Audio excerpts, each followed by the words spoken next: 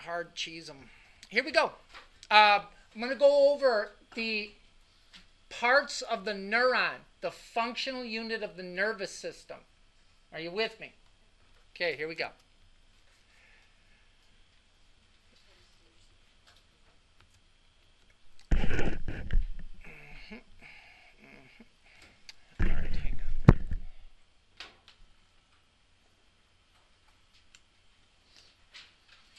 Okay. Um, all right.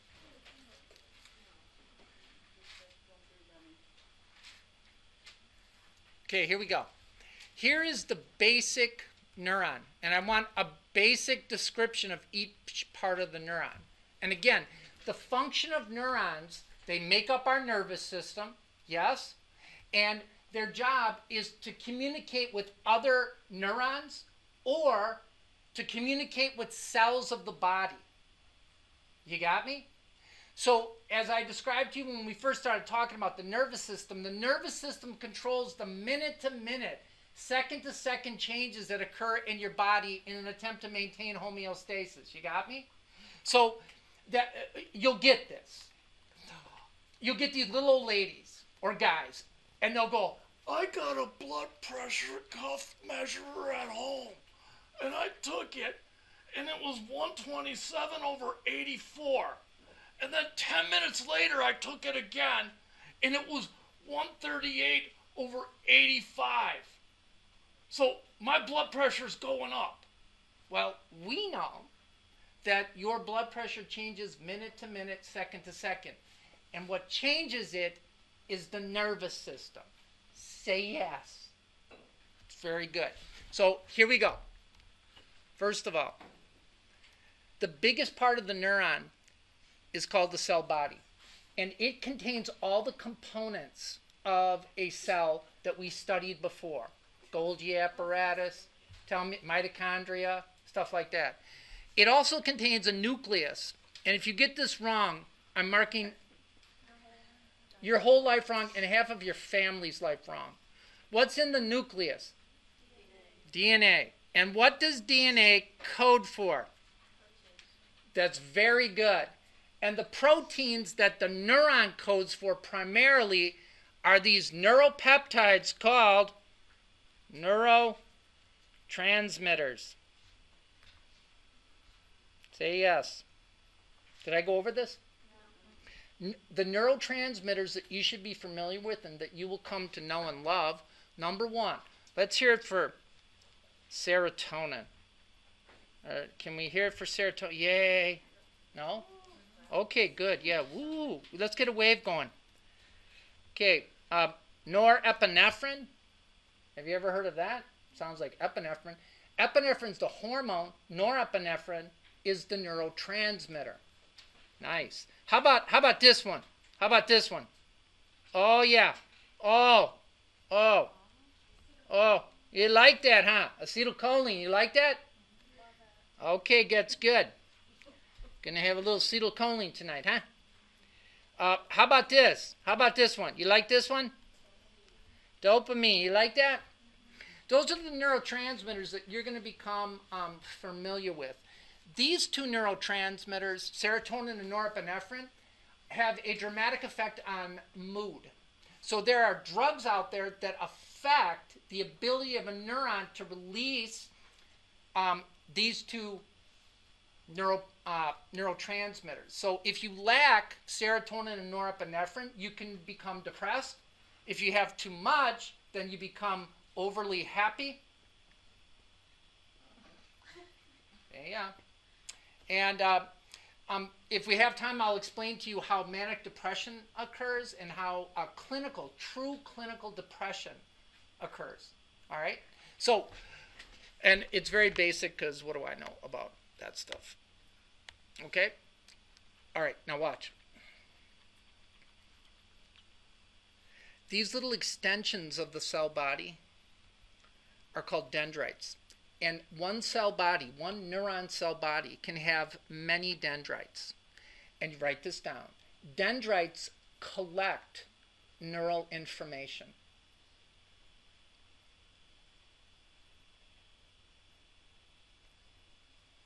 And the neural information that they collect is in the form of a chemical. That chemical is a neurotransmitter. Right? Then every cell body, every neuron has an extension off the cell body, and it's only one. And this is called the axon. And the axon transmits neural information. And it transmits its neural information in the form of an electrical impulse, on a little electrical current. And what produces that electrical current, that Im- electrical impulse? My name is electrolytes, right? So the two systems that require electrolytes, bringing you back to day number one, are the cardiovascular system and the nervous system. So anytime you have electrolyte disturbances, you immediately worry about the heart and the nervous system. Say yeah. And in the advanced class, I'll explain how the electrolytes move to do this. Not in this class. All right. So the axon transmits that neural information by generating electrical impulse or not generating an electrical impulse. So our brain works exactly like a computer. You know how they say a computer is either a one or a zero, the switch is either on or off? We work the same way. This neuron either produces an electrical impulse or it doesn't. Tell me you got that. If it does produce an electrical impulse, the electrical impulse begins at what's called the axon hillock. The axon hillock is where the electrical impulse is initiated. Who's following this? Okay, watch. Did I show you this? I want to get from here to there. Right? From here to there. So here I go. Ready? Made it. Okay? Or I could do it this way. Which is quicker? Yeah, the second one that did that was B, right? The jumping. So watch. Write this down. When you're scared and you have to run or fight for your life, do you want to activate your muscles like this or like that? So watch. Write this down. The axon of motor nerves, and motor nerves initiate movement, stimulate skeletal muscle to contract. They have an insulation wrapped around them. That insulation is called the myelin sheath. In this picture, it looks like an orange hot dog bun with a little squirt of mustard. Huh? Yeah. And you got a blue hot dog. Yeah. It's got like aspergillus on it or something. All right, so watch. Have you ever had your percent body fat measured? Yeah. You have? How did they do it? Um, well, I don't think it was the correct way. Because it was one Yeah, of those it's devices. Well, the device. Right. Mm-hmm. You know what it does? It sends in a little electrical current through your body. Listen up because this is true. Muscle, like me, I have minus 12% body fat. Oh. Muscle has water. Water conducts electricity. Fat does not have water. Fat insulates you. Tell me you got that. So watch. You put your hand here, you put your hand here, it sends a current through your body, and if less current shows up here, you have a greater percent body fat because fat does not conduct electricity. Did you follow that? So this little myelin sheath is made of fat. So what does it do to the axon? It electrically insulates it. Tell me you're following this. And as you can see, they have a little dash circle and it's blown up. You can see the little mustard and hot dog bun, the myelin sheath, And then you have a bare spot called the node of Ranvier. The node of Ranvier is where the electrical impulse in the axon is produced. And it appears that this electrical impulse hops from one node to the next.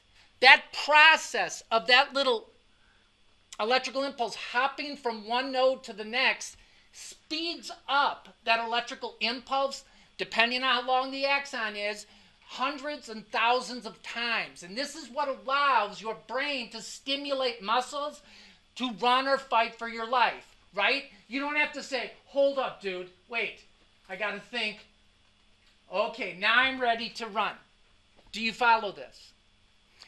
So, and this name of the electrical impulse appearing to hop from one node to the next is called saltatory conduction. Saltatory conduction is found in motor nerves and it speeds up that electrical impulse. Say yes. From a clinical standpoint, this is also important. Have you ever heard of multiple sclerosis? You've heard of it. Do you know what it is? It's sclerosis multiple times. Watch. You have motor nerves in your brain, spinal cord, and that innervate your muscle.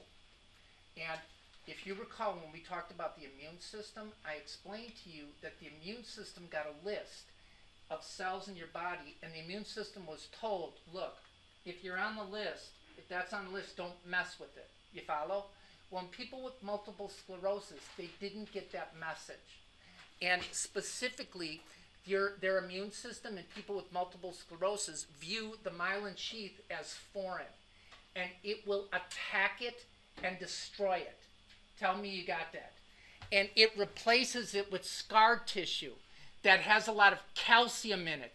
And calcium is hard. That's why, and it, because it occurs in the brain and spinal cord, in multiple locations. It's called multiple sclerosis. Say yes. Multiple sclerosis back in the day before they had MRI was a dumping diagnosis. You were weak, depressed, you got MS. Right? Now they can definitively diagnose it with an MRI because it will light up. Those sclerotic areas, those calcified areas will show up in the brain and spinal cord. And there's varying degrees of multiple sclerosis. Some you can last your entire lifetime with minimal changes. Others progress rapidly. And a buddy I played baseball with, right? Great athlete. Gets up, hits the ball, rounding first, and all of a sudden he falls down. And he's tagged out, right?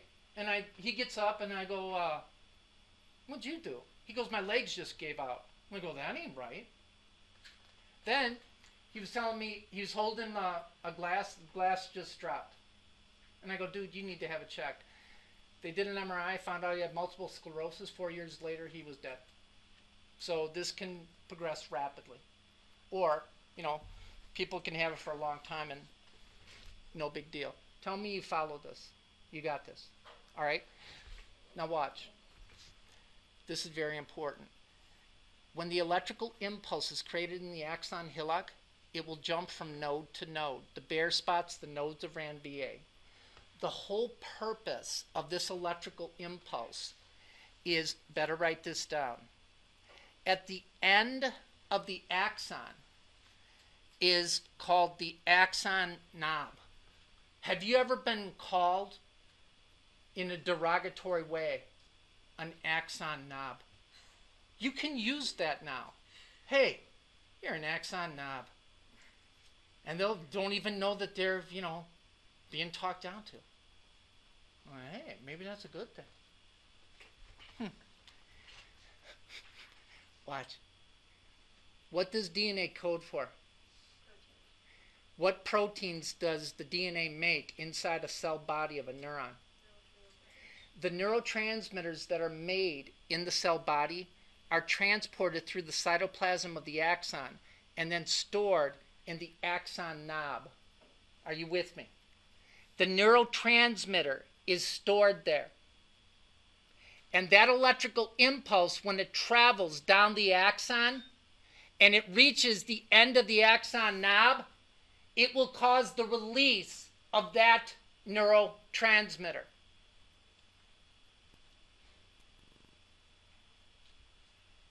You're following me. Here we go. Ladies and gentlemen, that's the basic structure of a neuron. There's a question on the final. Describe the basic structure of the neuron and the function of each part. Did I do that?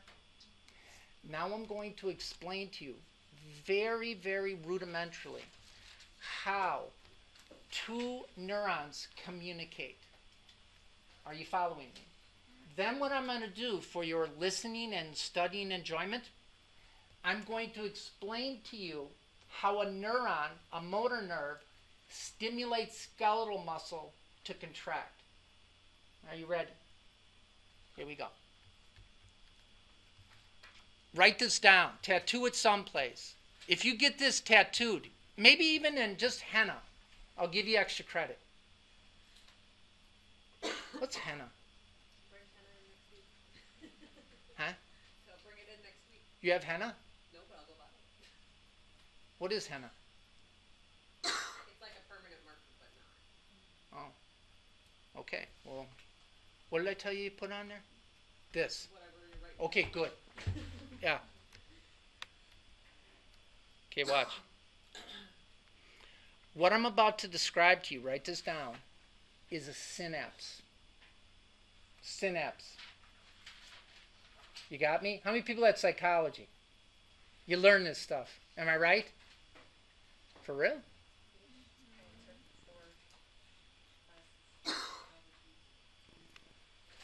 Okay, watch. That looks kind of weird. You guys have dirty minds, you know that?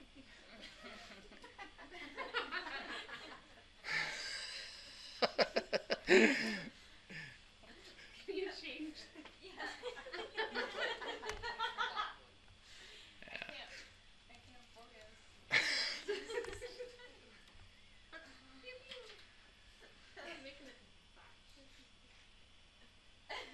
Is that better?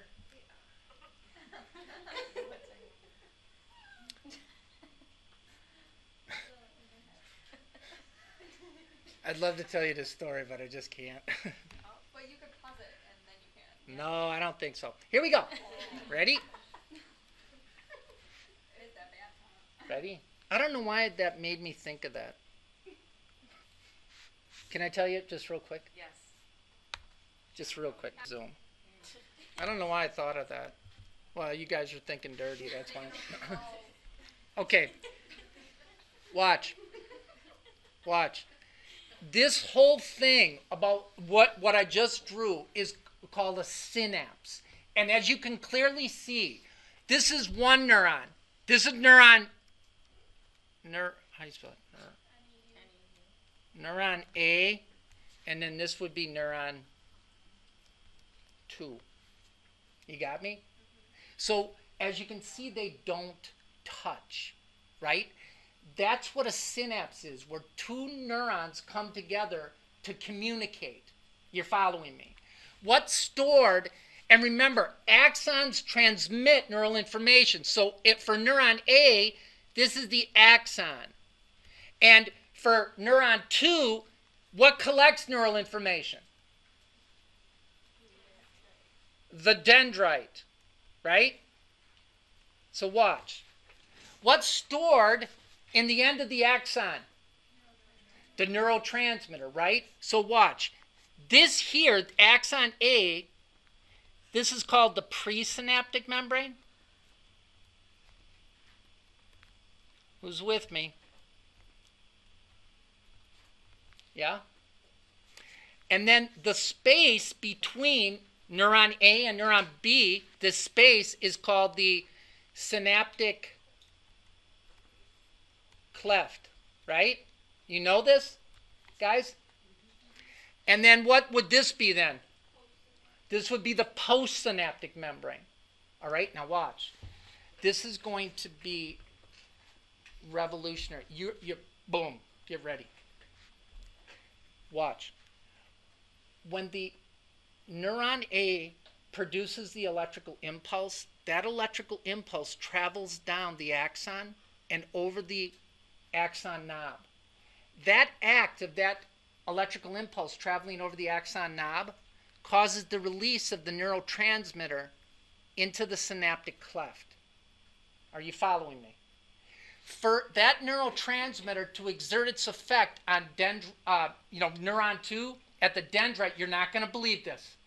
Ooh, I'm going to take this really slow because you've never heard this before. That neurotransmitter has to bind to a specific neurotransmitter receptor. Do you want me to take that a little slower? Who's with me? Now, watch. When that neurotransmitter binds to that receptor, it will either make that neuron 2 produce an electrical impulse or not produce an electrical impulse. Do you follow that? Guys, now watch.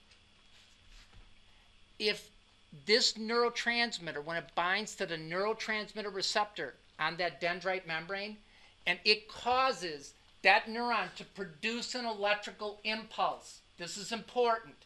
As long as that neurotransmitter is bound there and that neuron has ATP, it will continue to produce an electrical impulse.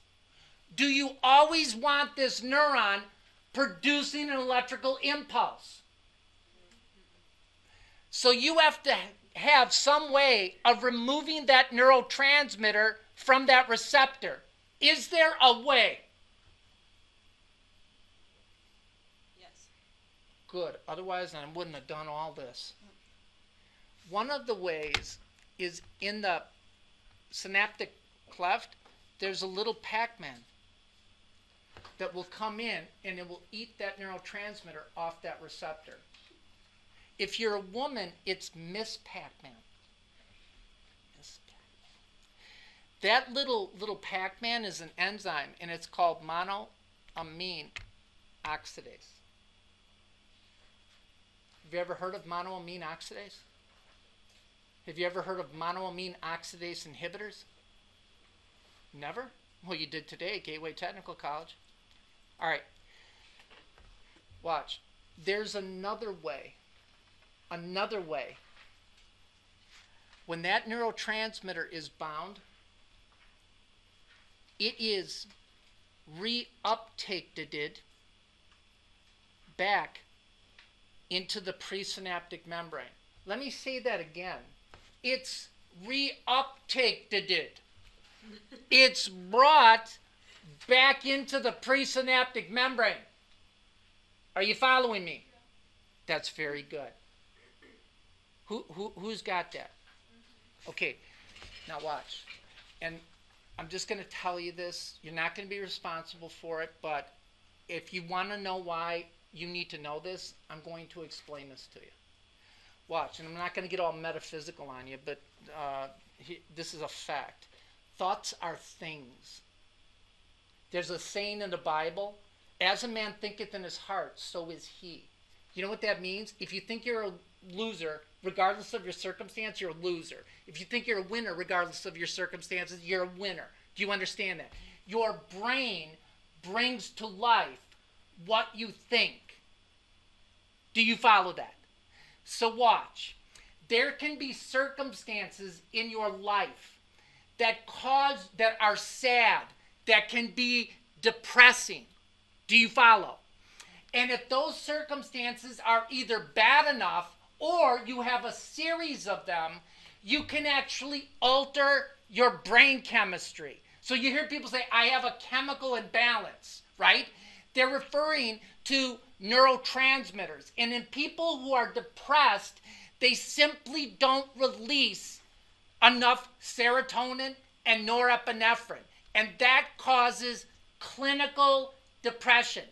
That's clinical depression. When you say to them, snap out of it, they can't snap out of it. Do you understand that? So, just real quick about 20 years ago, I was doing some studies. And one of the things I had to do was I was doing a study on depression. We were testing newer drugs. Uh, Effexor, have you heard of that? Yeah. Right? I did the clinical trials on Eff- Effexor, right? So, anyways, one of the things that I had to do is recruit subjects. So, if people came in to see the doctor and they said, Oh, I'm, I'm here because I'm depressed, then, like, ding, you got to contact Timmy. So, they would contact me and then I would have them answer 36 questions. Have you ever heard of the SF 36? Never? It's a psychometric tool that looks at anxiety, depression, and somatoform. Somatoform is you got a bad back, but you really don't have a bad back. It's all in your head, right? And th- this is true. So, one thing I learned about people, especially you know people nowadays, is it's not that they don't want to feel sad or they don't want to feel happy. They don't want to feel anything, right? They want to go through life what you guys look like at about quarter after eight. and I get it, you work all day. So um, I asked this lady, I said, I sat her down and I'm talking to it, and I said, I understand you're depressed. Could you tell me a little bit about it? And she goes, Well, my mother died. And I said, When did your mom pass away? And she said, Last week. And I couldn't help myself. I just couldn't.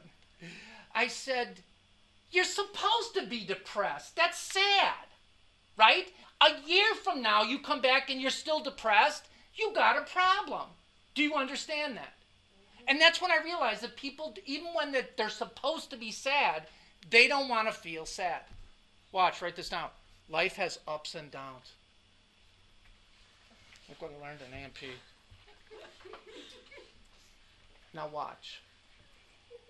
I told you about uh, resting bitch face lady. Did I tell you about her? No. She sat right there. It's not you, Oh yeah. right? I still remember her name. her last name was Payne, and it was so funny. Anyways, she would come into class, and I'd go, "What's wrong with you?" And she goes, "Nothing." And she goes, "Oh, I have resting bitch face." so I work with this lady at the company I work at, right? And this lady was a bitch. I'd walk by her desk, right, and she'd be like, like, Oh damn, lady. I'm not even kidding. Like mean mugging me, and I have never said a word to this lady in my life. So she's, I'm working there. She's working there for like three years, and then one day I'm walking by. I'm like kind of like this, right? And she's like, "Hi, Tim." So I turn around and I go, "Hi, Ann." She goes, "I know, I know." I was a bitch. And she admits it, right? I swear to you. And she goes, I'm on Prozac. And I'm like, I cannot believe the transformation that occurred in that lady. It was unbelievable. This lady was funny. She was engaging. She was interesting to talk to. I mean, it was amazing, right? And I've been there 24 years. She was the only one that gives me a Christmas present every year.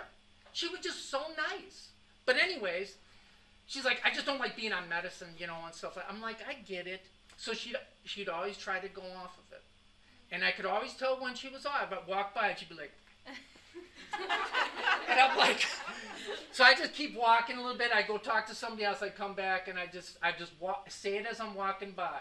And I said, Ann, you need really need to be on it, right?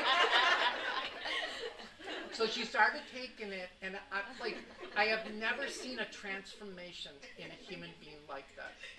Here's my point. Here's my point. What? Your goal in life and my goal in life is the same goal. It is to be happy and content, right? And if you can achieve that by taking a little medicine, I say God bless you. Do you understand that? And people say, "Oh, you know, I don't want to be addicted to a me-. Uh, what a dumbass you are." If I could find a pill that was going to make me feel better about life, you're damn right I'm going to take it. What's wrong with that, right? Because most people, if you look, I don't care where they are in their station of life, in a lot of ways they're miserable. Do you understand that? And life is very fast paced, and it's very easy to fall into that trap, right?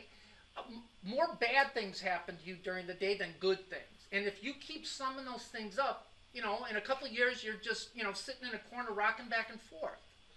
And there's there's nothing wrong with it. And these drugs have gotten a lot better.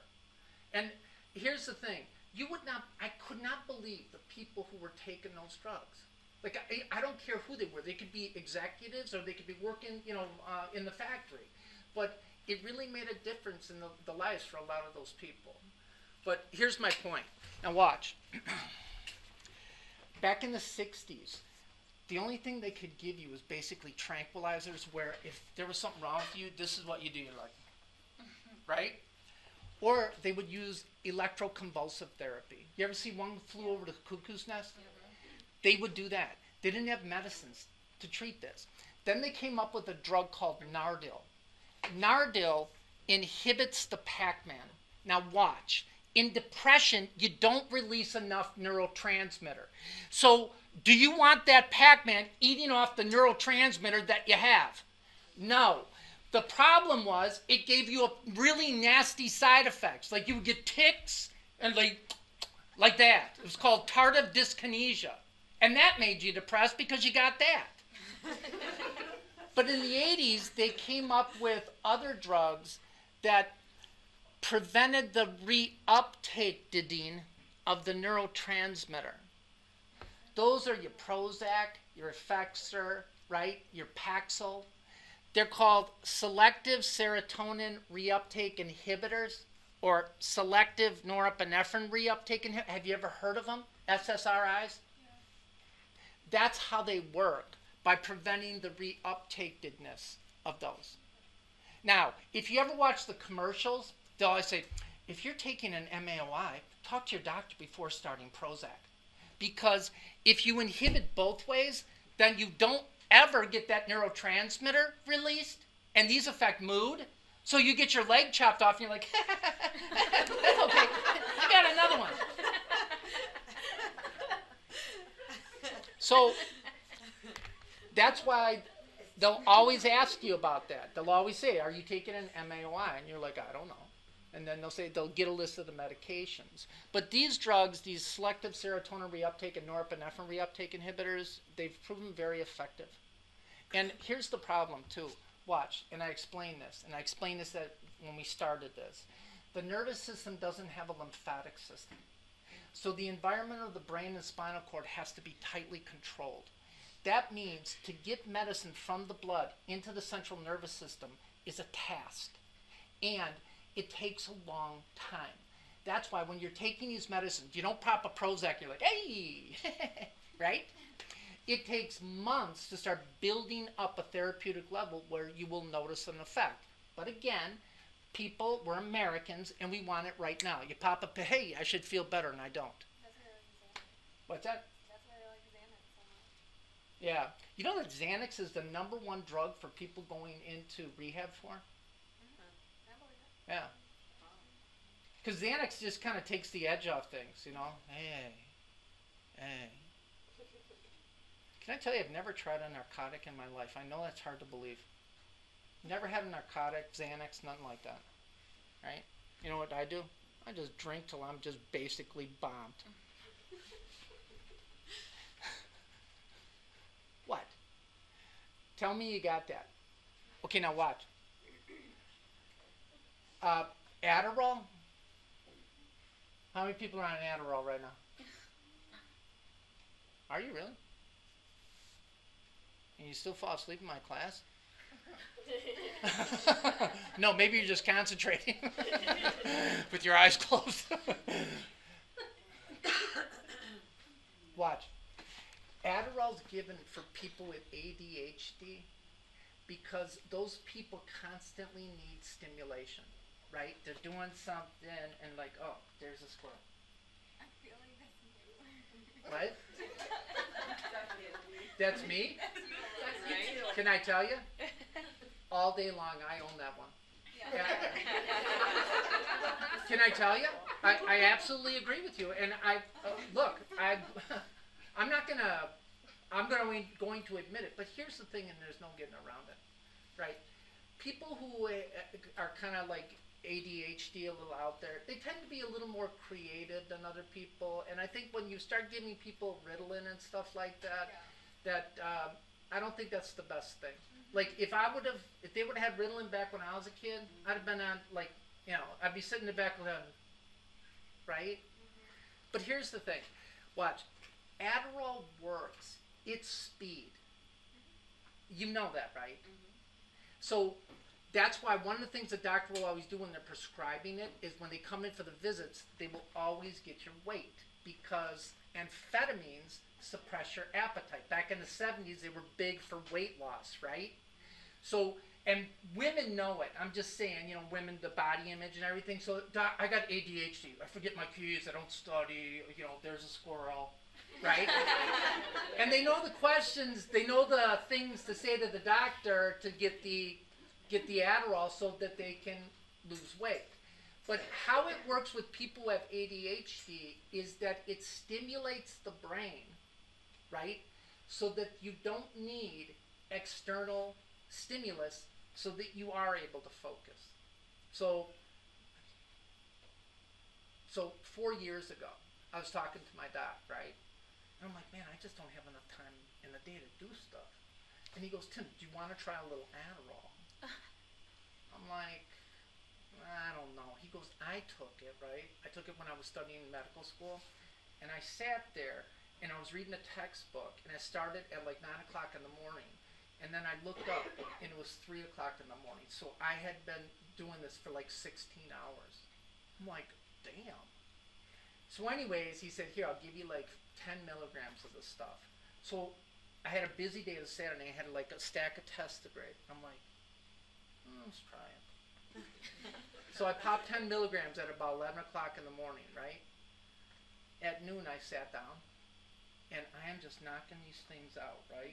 I'm not peeing. I'm not getting anything to drink. I'm not getting up, right? I'm not even moving. I'm sitting okay, boom, boom. I look up. It's like 9.30 at night. I'm like, where did that go? But the problem is, is that the next day, you're like, my feet hurt. I'm like, damn, that ain't right. And I, I'm like, forget it. Uh, It was just, it, I'm, I got enough energy, right? I didn't need that. But that's basically how Adderall works. So simplistically, it will stimulate your brain so that you don't seek external stimuli, and that gives you the ability to focus. Uh, real quick, Ritalin, watch. Ritalin can be used in kids for ADHD, but it can also be used in adults for depression. Do you know how? Watch. Kids who have ADHD, they release too much neurotransmitter, right? So they're right? so Ritalin increases the release of neurotransmitter and you get what's called fatigue at the synapse. You simply don't can't produce enough neurotransmitter to keep up with this release. So the you can't produce anymore, so that neuron doesn't fire anymore. That's why if you take too much Ritalin as a kid, they're like, you follow? And what's the problem in people with depression? When people with depression, they don't release enough. So Ritalin increases that release. That's how it can be used to treat depression in adults and ADHD in kids. And here's the thing, watch. when I think I told you this, right? I'm left-handed. I have dyslexia, right? So that's why, like, I'll look at a word, I'm like, is that right? So this is back in the 60s. So I'm in like third grade, and the teacher thought I was retarded, right? Because I couldn't spell, you know. So she talked to the administration, and you know, my mom. What does she know? She's taken the the words of this this teacher and the administrator. We think your son is special. So for four months of the third grade, the little short yellow bus picked me up. You think it's a God's honest truth. Now watch. Watch how smart I am. When I went to these classes and I looked around, I'm like, these kids are retarded. But watch. I'm in this class. So they think I'm retarded. And I said, I'm never going to tell anybody this. I am going to bust my ass. I don't care what I have to do. I'm never. I'm going to go to my grave with that one, and I'm. I'm never going to use that as, as an excuse, and I never did, because I thought I don't want. I don't want people to say that about me. Right? Would you want the people to say that about you? Right. But I see. I had this one kid when I was teaching class at, in Chicago, and he goes, "Hey Tim, I'm taking your physiology class in the spring." I go, "Good. I hope you learn something." He goes, "Can I show you this letter?" So I read it, right, and I go, I hand it back to him. I go, Are you retarded? He goes, I'm not retarded. I go, What does this letter mean to me? Well, it just takes me longer to learn stuff. I said, Well, let me give you an example. If a student has to study 10 hours for my test, you have to study 20. Yeah. I said, Well, do me a favor. Take this letter, fold it really nice, and shove it up your ass and study 20 hours. What's wrong with you? What is wrong with you? And I sat him down. I said, You go to your grave with that one, buddy. You study 20 hours. And he, he was looking for a free ride. And I'm like, No way. That's that's my speech on that stuff. People, yeah. You? You know, to be honest, I don't remember. I think my mom finally stepped in, you know, because they were like, wait, you know how to do this stuff? I'm like, yeah. And, you know, my mom had seven kids. It was back in the 60s, right? You know, you didn't question teachers and administrators. But that's what I mean. When a teacher says that, oh, your kid needs Ritalin, wait a minute, wait a minute. Who are you? Who are you? Right? And a lot of teachers use Ritalin as a way of just controlling bad behavior in a classroom. I'm thinking about using it too. Have like a little candy dish of Ritalin when you walk in. But I don't know. I mean, look, you can take that for what it's worth. That was my little uh, uh, personal opinion. But my, my point is is that I think people look for um, look for excuses. Now, are there kids out there who really have ADHD and that absolutely? But I personally believe that a lot of it is um, that parents aren't being parents and they're not kicking the kids' ass when they need to have a good ass kicking. That's it. And God invented the ass. There's no vital organs around that thing. And you slap that thing, man, and it stings. And kids remember that, right? And uh, you know, when I was a kid, I there wasn't an ass beating I didn't deserve when I look back on it, you know. And I'm a productive member of society for the most part, and I think we've gotten away with that. And if you look, just real quick, and then we're moving on. Every other culture who's been around for thousands and thousands of years, thousands and thousands of years, still incorporate corporal punishment into raising children. And we, who've been around for 300 years, right, we don't think that's a good idea right? And then you see some of the behavior. It's unbelievable. There are no, no, there's no accountability anymore. That Columbine thing, right? We didn't know they had guns in their bedroom. That's right. They didn't want to know. Right? I told my son, your bedroom, I go in it anytime I want. Do you understand? I can look around anytime I want. I said, when you write out the check for the mortgage every month, then you can say, Dad, don't go in the Okay, okay. Till then, shut up.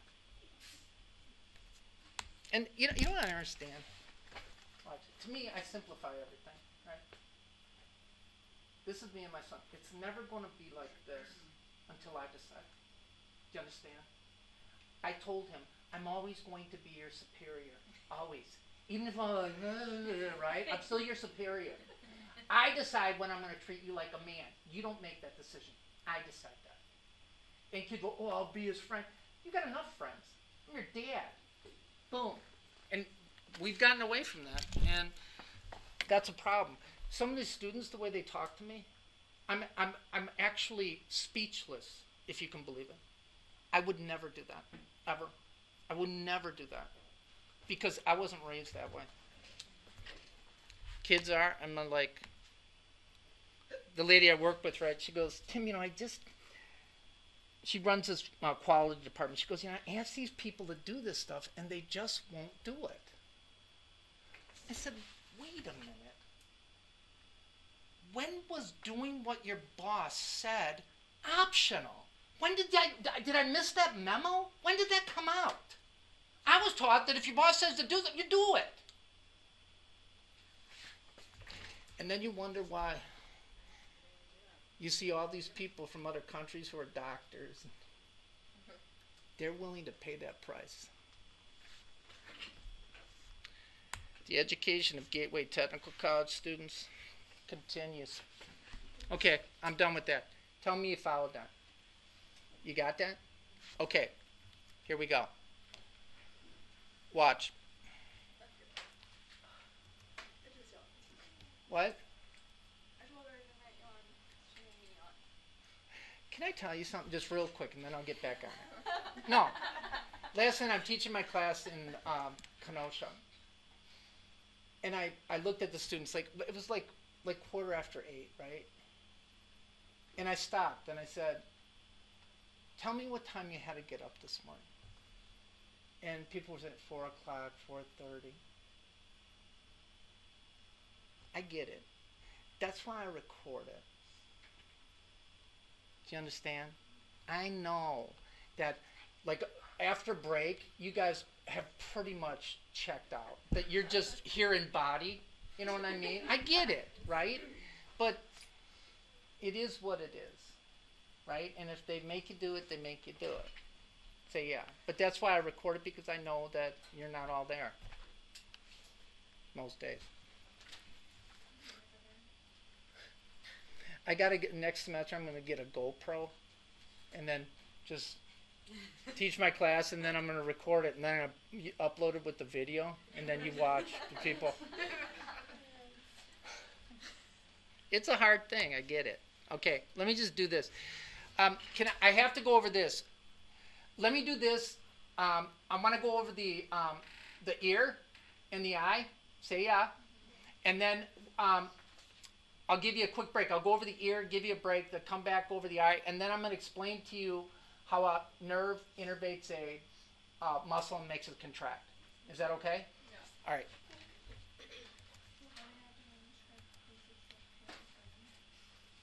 What? What did I miss? Did I miss a question? think you might have. What? Um, describe the basic structures of the brain and the basic functions of each part of the brain. Oh, di- oh, I, I thought we did that last time. We didn't do that. Okay, let me do that then. Let me do that. Just so you know, there's a video on that. Okay. You don't have to. I, I do want to go over uh, some of it. All right, come on. Let me just do it. What? All right, here we go.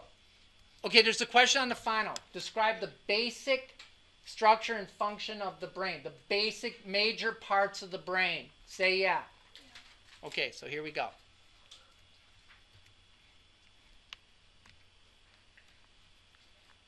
Okay, this is your brain.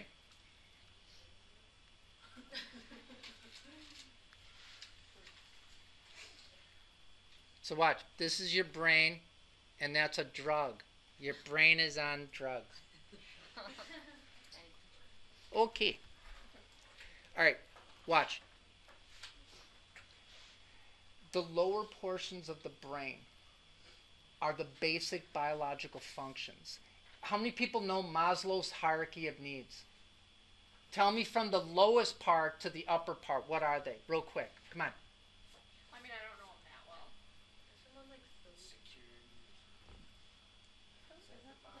No, what's at the bottom? What's at the bottom?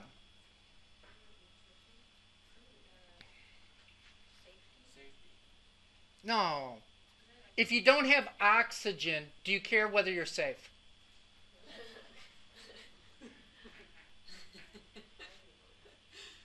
So you have um, physiological needs, right?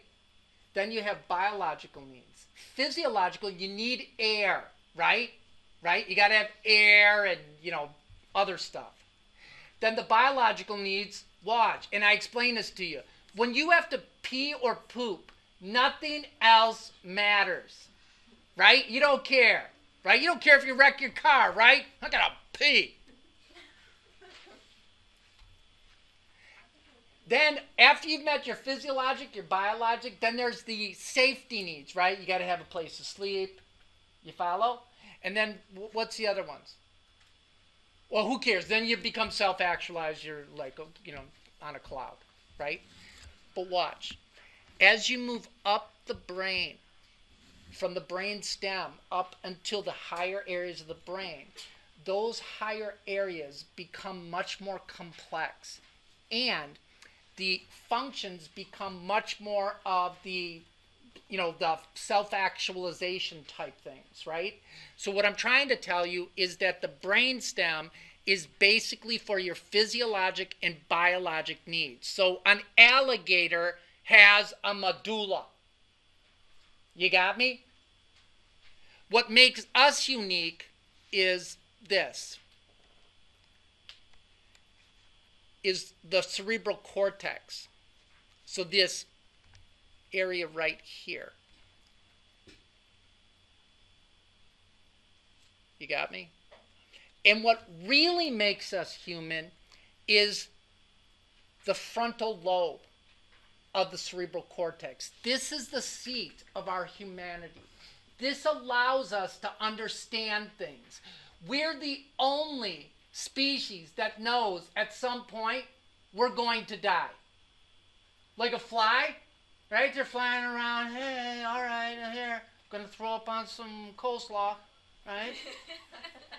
and then they're, you're driving a car, and then bam, that fly hit, and then boom, and that fly did not know it was gonna die. It was having a good day, and then bam, it died. Right? We know that at some point we're gonna die. So I pose the question: If you knew if you wanted to and you could find out when you were going to die, would you want to know? No. I mean, who would, I wouldn't want to know. Right? And if I knew I was going to die at some point, I would read the textbook a lot more. Okay, so let's start from the lower portions of the brain, basic biological functions, say yeah, and move upwards. The lowest portion of the brain stem is your medulla. What does your medulla control? Don't all say it at once. Breathing. Right? We learned about that, right? Breathing. What else? Come on. Heart rate and blood pressure. Yeah. Uh, that's basic. The pons is involved with breathing. It's also involved with sensory interpretation, right? tactile stimulation. The other thing that the PONS has is what's called the reticular activating system. The reticular activating system is part of the brain that tells you to go to sleep and tells you to wake up. Now watch. Watch. When do you go to sleep? Oh. Okay. Wasn't expecting that. Most people go to sleep at night. Unless you work third shift. I know. And listen up because this is true. If you work third shift for 15 years, you will take five years off your life. It is abnormal for a human being to be up at night. You got me? So watch. There's a little gland. It's right here. It's called the pineal gland and the pineal gland releases a hormone called melatonin. Now watch, watch. When do you get melatonin released? At night. When your eyes are closed. When you close your eyes and fall asleep, sleep, sleep. Okay. So watch. That's why people when they work third shift, it's light out and they have a hard time so if you want to sleep good at night, the last thing you do is fall asleep with your TV on. You make your room as dark as possible and you will sleep better. It's that simple. Remove all the distractions. No one should have a TV in their bedroom. How many people got a TV in their bedroom and they fall asleep with it on? There you have it. And you're not you, you don't sleep well. You don't. You make that room as dark as possible. So the reticular activating system, when it is turned on by melatonin, it does a couple of things. Number one, it will partially paralyze your skeletal muscle. So when you're in that REM sleep, that restorative sleep, your muscles are partially paralyzed. So when you are dreaming, you will if they weren't partially paralyzed, you would act out your dreams. Right? So in people who sleepwalk, there is a disconnect between the reticular activating system partially paralyzing the muscles. It, they don't. As a result, you dream and now you walk around, hey, I'm making a salad. Do you follow? That's why when a monster is chasing you in your dream and you're running, it feels like you're running in jello because that disconnect between what your brain thinks you're doing and your body's actually doing it doesn't make sense. So the brain interprets it that you can't move right. Say yeah. Okay. Then the midbrain that's really not on the, the final. You don't have to know about that but just let me tell you that's kind of the seat of our emotions a little bit this is where you get pissed off, angry, you love somebody, you hate somebody. And then whoever said there's a thin line between love and hate, man, they were right on. You got me? Then, do I really have to go over the hypothalamus? Please, do I? No. And then above the hypothalamus, no, is the thalamus. The thalamus is kind of like the gatekeeper of our senses. Watch if you felt everything, all your senses became conscious, you would go insane. So the thalamus allows only certain sensory stimuli to become conscious. Let me give you an example of what I mean. Watch, you're in a group of there's 300 people there, and you hear Megan. You immediately, Megan, you immediately attend to that because that's important to you. Do you follow that? So another example, you're driving home and you always notice the same make and model car that you drive, right? All the time because you're thinking that person's got to be cool too. now, let me give you an example of uh, the opposite. What I'm talking to you right now about the thalamus, that's not going to reach consciousness. and then students when they go like you go into advance and you have another teacher in advance you go did you go over the functions of the thalamus? You're like no we went, never went over that. And you believe that we never went over it because i don't remember that. Say yeah. Okay so and really what the thalamus does is prevent you from going insane from all the sensory stimuli it, you will only attend to what you believe to be important.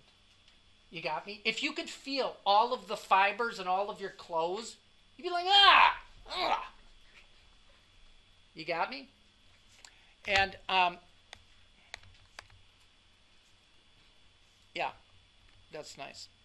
Now, that's why they say that uh, when people they've seen a like a they've seen a murder or something like that and they can't remember anything, they can actually try to like try to hypnotize them. You remember everything that you see. You just can't recall it.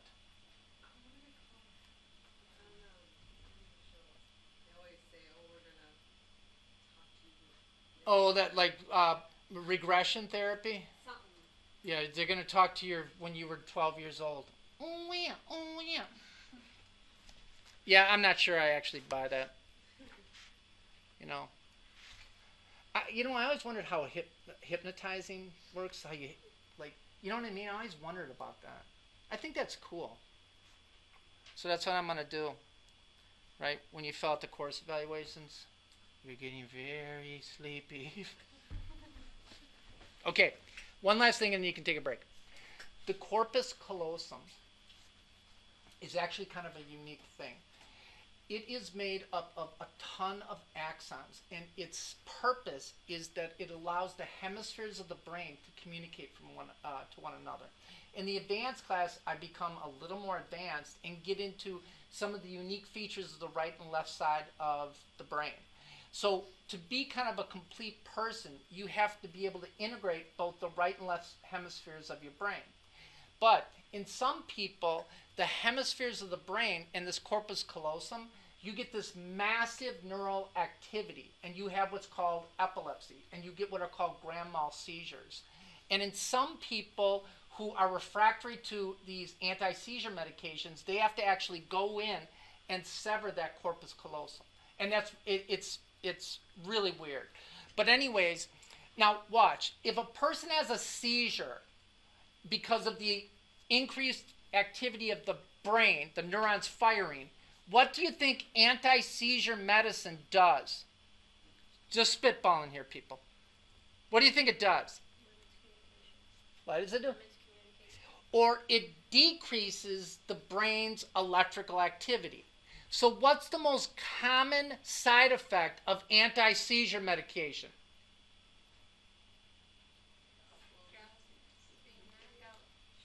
They're, s- they sleep all the time. That's one of the side effects. So, that could explain it. You guys have seizures? All right, take a break. Okay? Just so you know, oh, before you take a break, so I know I did say this, there's a video called The Parts of the Brain and Their Functions. Write that down. Are you going to write that down? Who wrote that down? You already ro- watched it? The audio was bad. It was bad. I was gonna say the audio was bad. It actually says on the video poor audio. And then if you look, if you blow up the screen to maybe at like 150%, it says parentheses poor audio. Too bad.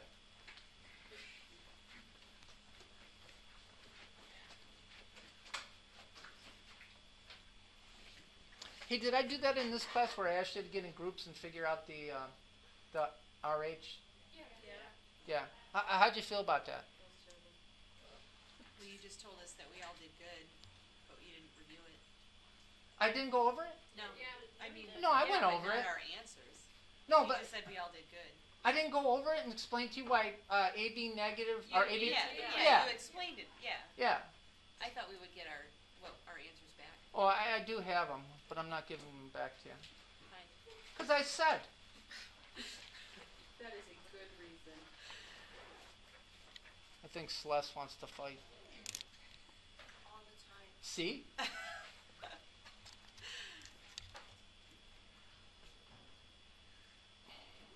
Brittany, she looks like she's ready to fight. Got that leather jacket on. She gonna rumble. She's probably got a switchblade in her pocket.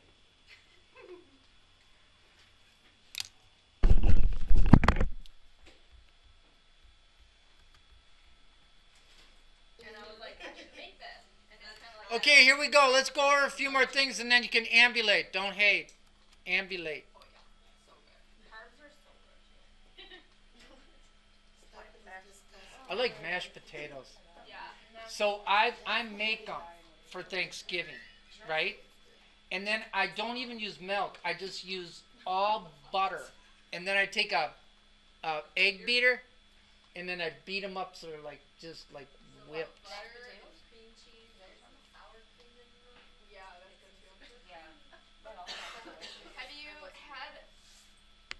I feel like you're not gonna like this, but have you had mashed cauliflower? I have. It's actually pretty good. Don't get on it. I think it's pretty good. It's not the real But thing. bur- so Bird's Eye makes this Don't hate. chicken cheddar one. Ambulate. I mean, you got bacon in it, so okay. It's a real good. It's real good. That one's real good. Okay, here we go. We're gonna do something. What are we gonna do? I don't know, but your screen's gonna. I don't care. Everyone just kind of take turns walking around. I hate me too. Here we go. Basic overview of the ear and eye. I gotta do it. Look. There's a video on the ear and the eye too, just so you know.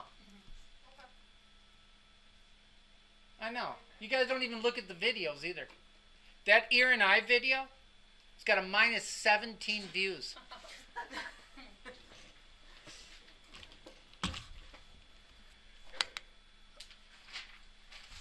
Okay, here we go. I think I explained this to you, but I'm going to explain to you again. Why you got two ears and not just one big one?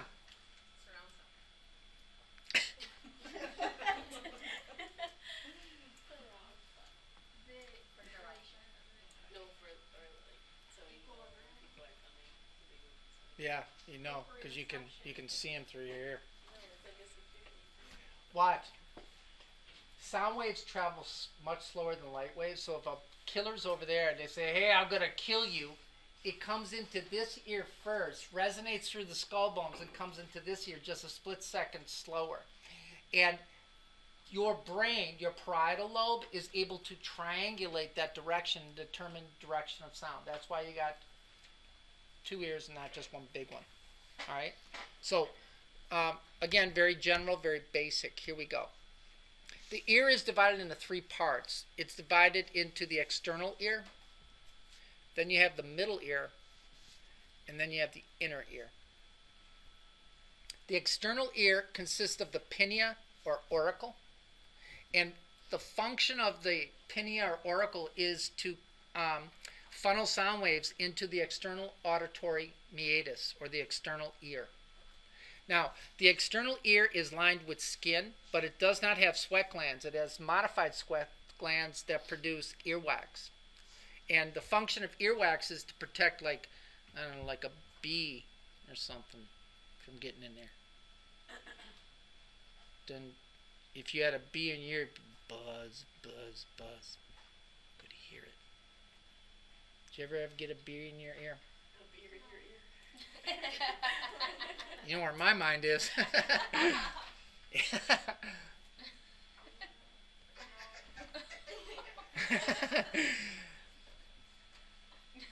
like when I get home, I get excited walking in that door because I know I'm gonna put my coat down and my bag down, and I'm just gonna pop open a cold one, man. I just suck that thing down. My life is good. What's your favorite? Corona. Yeah, I love it.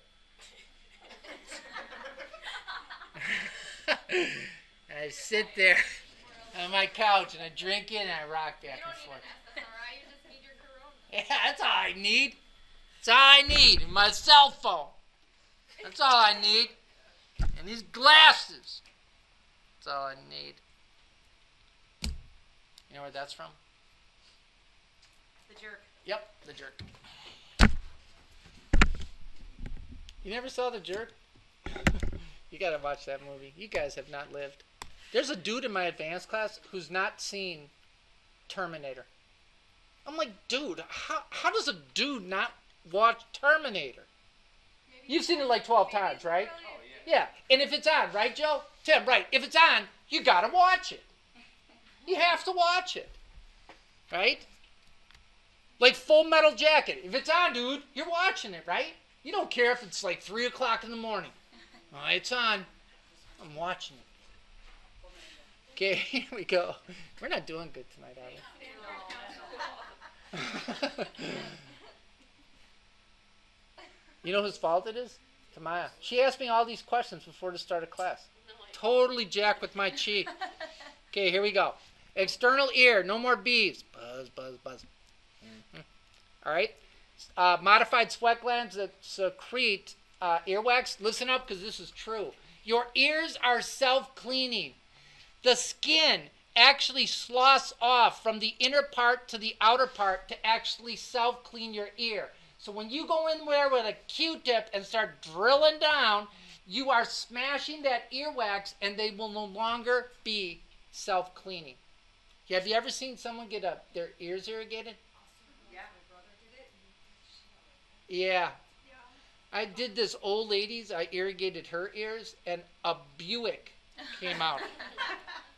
And I'm not even kidding. And the weird thing, I don't know how long it was sitting in there, but it was sitting on 30s.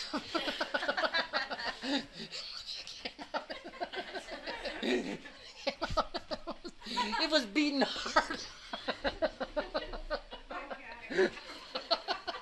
I don't know why that's so stupid. That is so stupid. Fuck. this class is over anyways, man. Nothing's happening. We talked about, we just learned about the 30s. oh God. I don't know if I ever did that, but like, I, you know how I would give you a bling? Back in the day, I would like give you like a one spoke rim if you did really good. Oh, who cares? All right, here we go. We're gonna do this, and then you can ambulate. Will you watch the videos? Yes. That's why everybody else doing. Well, watch. You notice I was digging. I'm in my computer, so I didn't watch them leave, so they didn't feel like they had a minute excuse. You could have made your getaway too, but you didn't.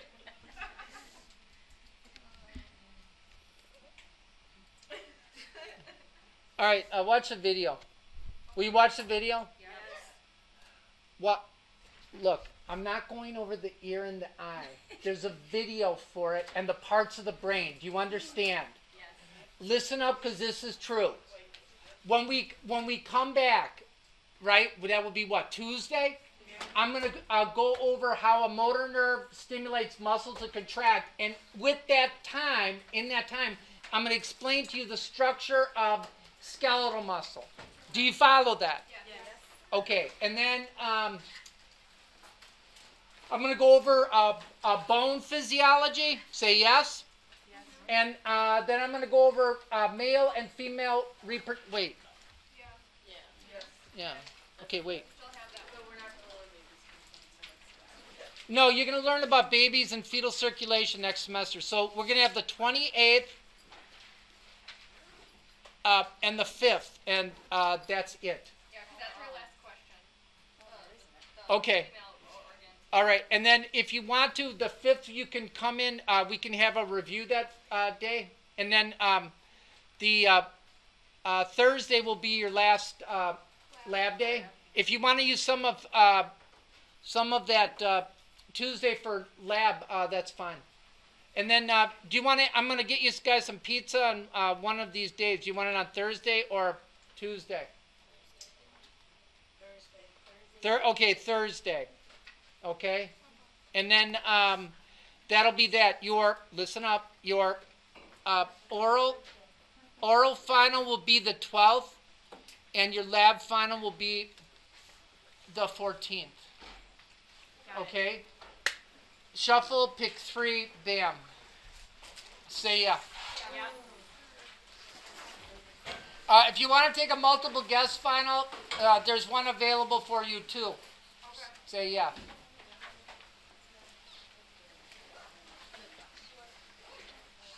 Did you get it? If I didn't do that great on this quiz, how much is it? Is it affecting or? It won't affect your uh, grade at all. If you didn't do better, then if if it doesn't improve your grade, I'm not going to add it. If I don't have, That's so disappointing. You're slipping. Come on. This is not the time to slip. You got to get it together. You've got to keep it together. You understand? Keep it together. You got three damn weeks. Come on. You can do anything for three weeks. Keep it together. I'm trying. I am. I am. It's just hard. I'm trying. Keep it together. Don't fuck up now. Honesty. I know. I just gotta figure out how to get to school. Better buy the key. Don't worry. Yeah, you guys too. Yeah, have a nice Thanksgiving. I forgot about that. Yeah, we're not going to see you on Thursday, right? Right? Yeah. Yeah, I forgot about that. Okay. Hey, have a good, uh, a nice holiday. All right, enjoy yourself. Don't worry about it. Get get through this now. Do you understand? Don't fuck around now. You're so close. So it's gonna be, What? I laugh when I get Uh, nervous. yeah. Not. Yeah. Um, don't do it. Don't do it. Don't. Don't fuck fuck up. off Oh, now. You're this close. I know. Why are you doing that? I'm so nervous. I'm just. I think it's just. Like, I'm just overstressing myself. Well, then don't overstress yourself. Enjoy your uh, holiday, relax, and I'm then get. Don't. then work, and then just get back at it. You got three fucking weeks. Come on. I just gotta concentrate.